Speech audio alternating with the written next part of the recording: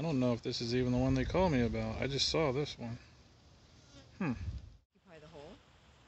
Alright, so there they are, and they live right there.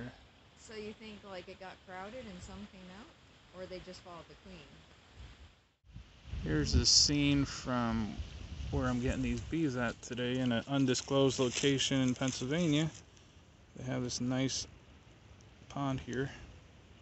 I just saw a gigantic snapper stick its head up. It went down. Okay, I'm gonna try to get the bees into this box with the net on it so I don't have them flying all around the car.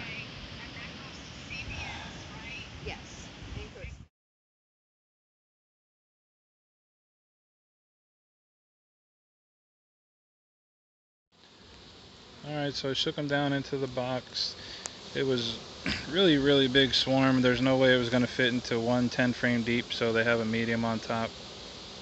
Mostly drawn combs. I'm not messing with these because they're cold, so I just gave them some frames with a little tiny bit of honey in there, which I normally don't do, but it's going to be cold again tonight, so they'll have something to eat.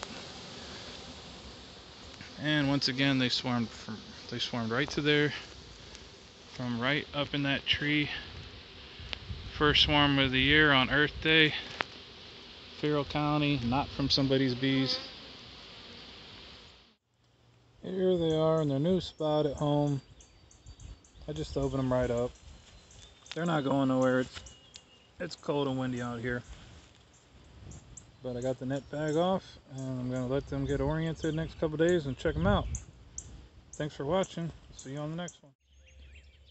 One more tick on me and somebody's going to Kentucky Fried Chicken. I don't know why, but ticks make me really hungry for some Kentucky Fried Chicken. So I'll probably go there if I find another one.